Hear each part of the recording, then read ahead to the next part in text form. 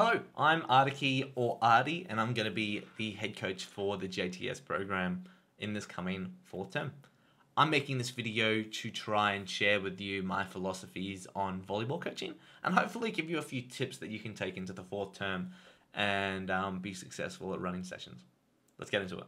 Okay, I'm going to start off with sharing my philosophies. Now, I have two main philosophies that I can put in words and that are important to me. The first one is it's got to be fun. What you're running must be fun. Okay? Now, this isn't like the oh, the last rule is you gotta have fun. It's sort of like if this isn't fun, kids aren't gonna enjoy it. That means kids are probably gonna leave. Now, there's a study that's run by a few different volleyball groups in America that say the biggest reason kids quit isn't because they lose every week, it's actually because they're not having fun. All right, now some people may define winning as fun, but I don't. You know, kids are kids and they enjoy playing and learning. Let's keep it fun. Now, the second main philosophy of mine is it it sort of revolves around the idea of you get better at what you practice. Now, if you get your kids to run around the court, they're probably going to get pretty good at running around a court. They're probably not going to get too good at volleyball. Do you sort of get me? What I'm talking about is I want you guys to try and emulate the game. Now, when I say that, I mean in particular, use the net. Okay, there's so many times that I see different coaches sort of not use the net. They're playing volleyball and they ignore the net for 15 minutes of their um, training, which is um, just funny to me. So what I want you guys to do is emulate the game. All right, in any way, try and include that net. Try and include digs, sets, spikes, serves, blocking, volleyball. Include volleyball. Emulator in every single drill we do. All right, now I'm going to run through how I would run a session for the first time with new kids because I'm going to be running into a few new kids as well. Now, the first thing is setting boundaries. Now, I know we're coaching volleyball, but we also need to be aware that we're also sort of managing kids. And some kids aren't the most self-controlled beings on this planet. So, the first thing I would do is set boundaries. Because if you don't set boundaries, those kids are to find the boundary probably in the most annoying way possible. so, these are the three boundaries that you guys can use, or you can make your own boundaries up um, however you feel.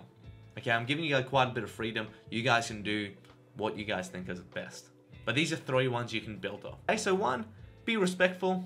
Two, be safe. And three, do your best. Okay? Now, if you see kids testing the boundaries, you can just chat with them, check in with them, and say, hey, I've got an expectation that you need to be safe. So, being a bit rough with other kids probably isn't following that expectation. How can we sort this out? Okay? Don't just yell at them, oh, you're a piece of rubbish, or whatever, I don't know. Um, you don't want to be that coach. So, yeah, just check in, check with the boundaries. If they can't follow those boundaries, just keep them accountable or you can bring me over and I'll um, talk to them.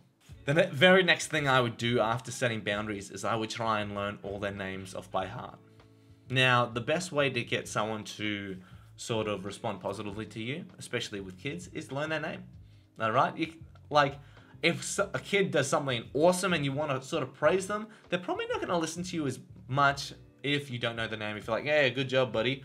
Um, or if they're doing something silly and you're like, hey, buddy, um, can I talk to you? They're probably just going to ignore you, to be honest. So learn their names. That's the first step to sort of gaining that respect from them. Now, after that's done, that's when I get into my debrief of what we're doing in the training session.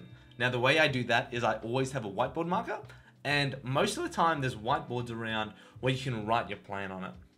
Okay? Writing your plan down doesn't only help the kids and the players to understand what they're doing, where they can make a roadmap, it also helps you make a roadmap for the training session. Okay, there's so many times when I haven't written on the board and then I'm sort of like 15 minutes in, I'm like, oh God, what do I do? I got no idea. Oof. And then precious time is wasted. Okay, so to be efficient and effective, try and get a whiteboard marker and just write your plan down, what you're gonna do.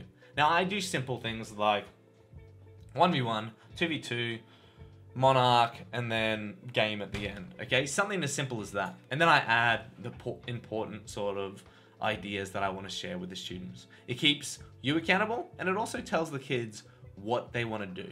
Imagine if you went to a training session, nothing was on the board, and they were just like, okay, let's go.